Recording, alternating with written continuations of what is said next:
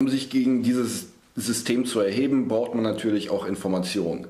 Die Mainstream-Medien werden ja größtenteils von den Playern unterstützt. Wie wichtig ist gerade in so einer Zeit äh, unabhängige Berichterstattung, Nachrichtenportale, die eben nicht von den großen Playern unterstützt werden? Das ist von, von, von allerhöchster Bedeutung im Moment. Also die Mainstream-Medien befinden sich ja alle in den Händen der ganz Großen. Also äh, Ganz egal, wen, wen man da sieht, ob das die großen Fernsehsender sind, ob das die großen Presseorgane sind, aber auch zum großen Teil die, die, die Mainstream-Webseiten.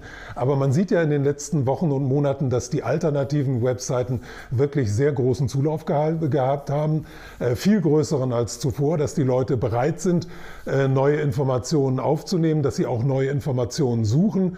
Und das ist im Moment wichtiger als jemals zuvor. Weil ich denke wirklich, dass, dass die, die größte Chance der Menschheit in dieser Krise Krise besteht darin, dass viele Leute den wahren Charakter dieses Systems erkennen.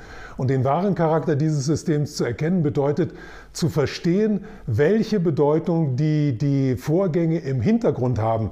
Dass man sich also nicht von dem blenden lässt, was man im Vordergrund nur sieht, sondern dass man fragt, wer steht dahinter, wer äh, hält die Zügel in der Hand, wer bewegt was und wer verfolgt welche Interessen. Und wenn man den Leuten das klar machen kann, dann kann man ihnen auch klar machen, dass es wichtig ist, gegen diese Interessen vorzugehen und dass es wichtig ist, sich gegen diese Interessen zusammenzuschließen und dass es vor allem jetzt in der nächsten Phase auch wichtig sein wird, sich ganz stark dagegen zu wehren, zum Beispiel gegen das Demonstrationsverbot und dass man sich dagegen wehrt, dass Webseiten abgestellt werden oder dass Leute mundtot gemacht werden, dass Leute in Psychiatrien eingeliefert werden. Da muss wirklich gegen angehen gegangen werden und die einzigen, die wirklich dagegen angehen können, sind im Moment die alternativen Medien. Und deswegen bin ich auch froh, dass ich beim alternativen Medium wie Activism hier dabei sein kann, weil ich halte das für ungeheuer wichtig. Und im Grunde ist die Zukunft, die wirkliche Zukunft von Kindern und, und von unseren Enkeln davon abhängig, dass diese alternativen Medien wirklich mehr Einfluss gewinnen als die Mainstream-Medien.